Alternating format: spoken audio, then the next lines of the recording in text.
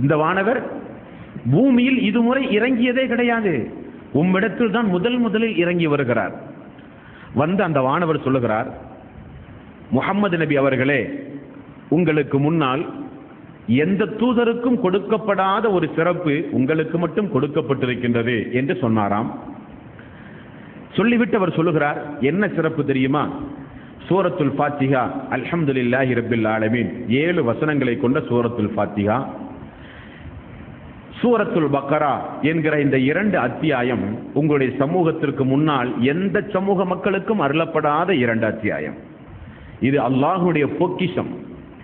ஆகவே தான் நபிகள் நாயகம் செல்லல்லாஹுடைய செல்லமர்கள் சொன்னார்கள் இரவில் நீங்கள் தூங்கச் செல்லும் பொழுது சூரத்துல் பக்ராவினுடைய கடைசி இரண்டு வசனத்தை ஓதி நீங்கள் தூங்கினால் இரவு முழுக்க நின்று வணங்கிய கூலியை அல்லாஹ் உங்களுக்கு தருகிறான். ரசூல் செல்லல்லாஹலை செல்லமர்கள் சொன்னார்கள். அப்படியானால் பார்த்தீர்களா?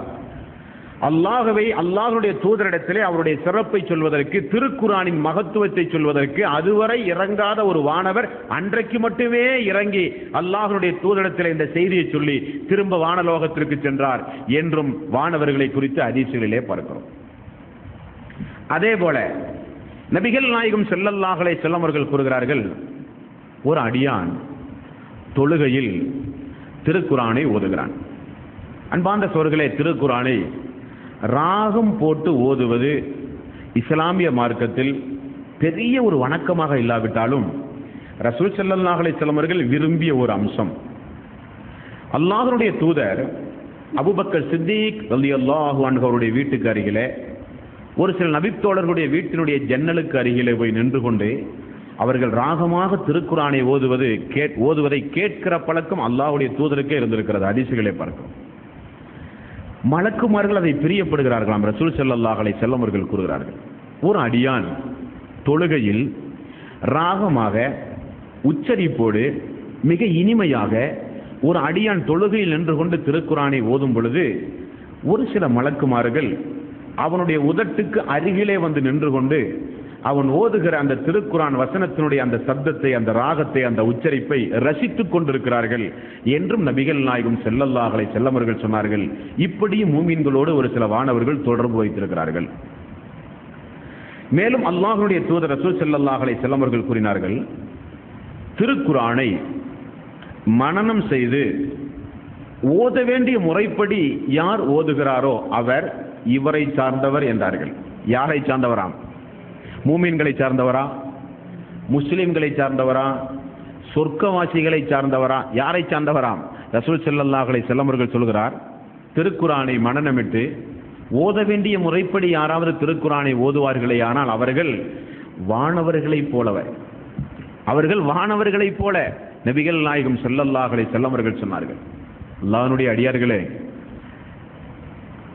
வெயிலுடைய அருமை நிழலில் தெரியும் என்று ஒரு பழமொழி சொல்லுவார்கள். திருக்குறானின் மகத்துவம் நமக்கு தெரியாது. ஆனால் உண்மை என்ன தெரியுமா? மிகப்பெரிய பாக்கியம் இந்த திருக்குறானில் இருக்கிறது.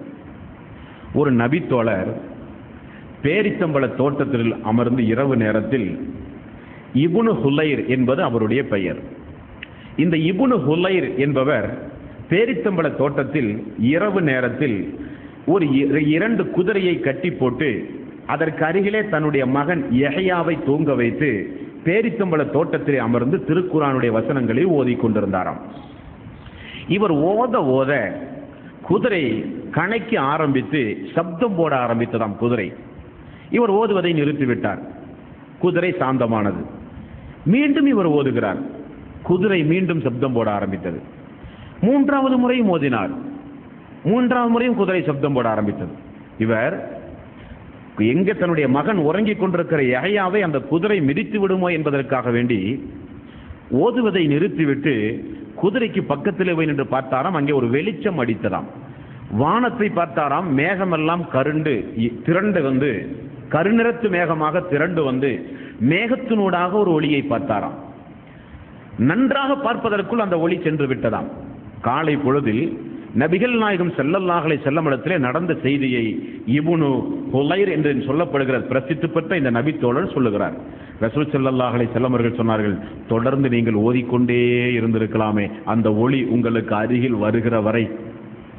என்ன யார சொல்லலாம் அதுதான் அல்லாஹனுடைய ரஹமத்தை இந்த பூமியில் இறக்குகின்ற மலக்குமார்கள் ரசூல் ஸல்லல்லாஹு செல்லமர்கள் சொன்னார்கள். திருக்குறானுக்கு அப்படிப்பட்ட மகத்துவம் உண்டு. மௌத்தா போனவர்களுக்கு மட்டுமே ஓதிக்கொண்டிருக்கிறோம் இந்த திருக்குறானை. ஓதி ஊதி சம்பாதிப்பதற்காக வேண்டி திருக்குறானை வைத்துக் கொண்டிருக்கிறோம். அல்லாஹுவை அஞ்சி இந்த ஒவ்வொரு வார்த்தைக்கும் சொந்தக்காரன் அல்லாஹ் என்கிற மகத்துவத்தோடு ஓத வேண்டிய நேரத்தில் திருக்குறானை ஓதினால் அல்லாஹனுடைய ரஹமத்தினுடைய மலக்குமார்கள் நாம் ஓதுகிற சபைக்கு வருவார்கள் என்பதற்கு எவ்வளவு பெரிய ஒரு எடுத்துக்காட்டு.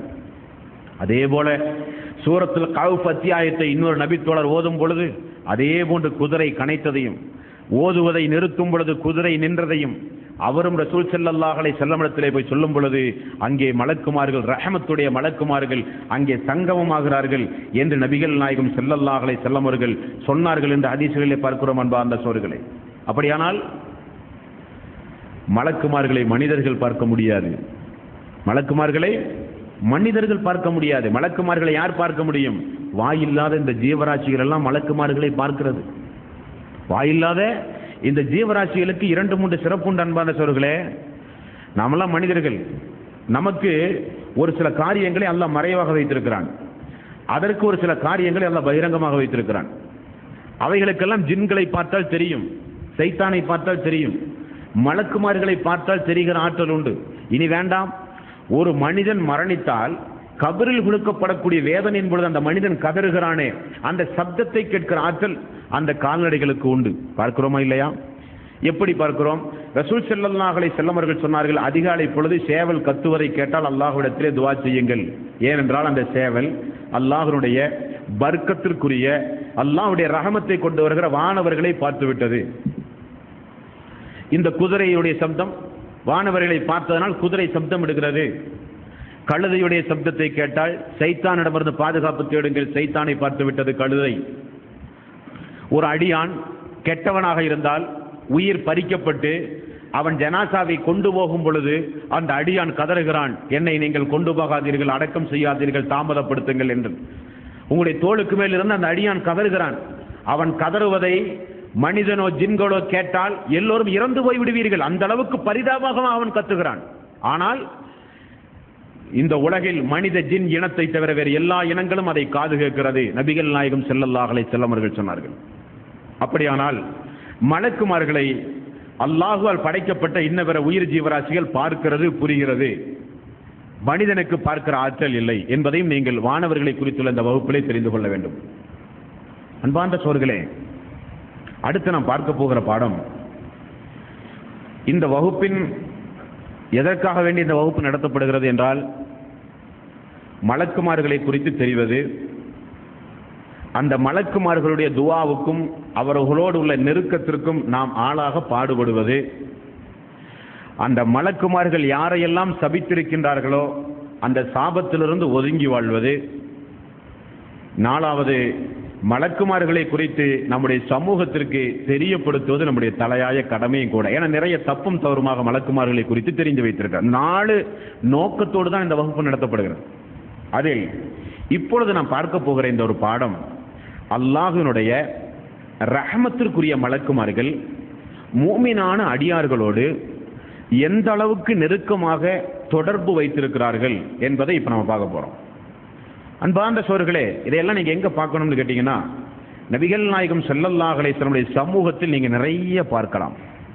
ஜிப்ரீல் அலைஹி சலாத்து வசலாம் அவர்கள் அல்லாஹருடைய தூதரிடத்திலே வந்து உங்களுடைய தோழரிடத்தில் இதை சொல்லுங்கள் அவரை குறித்து அல்லாஹ் இப்படி சொல்கிறான்.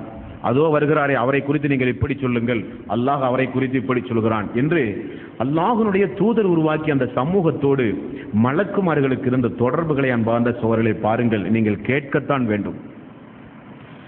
அல்லாஹனுடைய தூதரோடு மலக்குமார்களுக்கு இருந்த தொடர்பு ஒன்று இரண்டை பொழுது நாம் பார்க்க போகிறோம். அபு ஜஹில் ஒரு நாள் வந்து தன்னுடைய சகாக்களிடத்திலே சொன்னானாம் முகமது தொழுகிறாரா? ஆமாம். தொழுகையில் சுஜூதம் செய்வாராமே? ஆமாம் சுஜூதம் செய்கிறார். அப்படியானால் இன்றைக்கு நான் இங்கே தான் இருக்க போகிறேன். அவர் வந்து இந்த காபாவுக்கருகளை சுஜூது செய்யட்டும் பார்ப்போம். அப்படி சுஜூது செய்தால் என்னுடைய காலை அவருடைய தலையின் மீது வைத்து மிதிப்பேன். அவருடைய முகத்தை மண்ணில் போட்டு நான் தேய்த்தெடுக்காமல் விடமாட்டேன் என்று வீராப்பு பேசுகிறான். சிறிது நேரத்தில் ரசூல் செல்லல்லாஹலை செல்லமர்கள் வழக்கம் போல ஒரு மேலாடையை போர்த்தி கொண்டு காபாவுக்கு அருகிலே தொழுகைக்காக வேண்டி வந்தார்களாம் அன்பார்ந்த சோர்களே. தனியாகத்தான் அல்லாஹருடைய தூதர் வருவார்.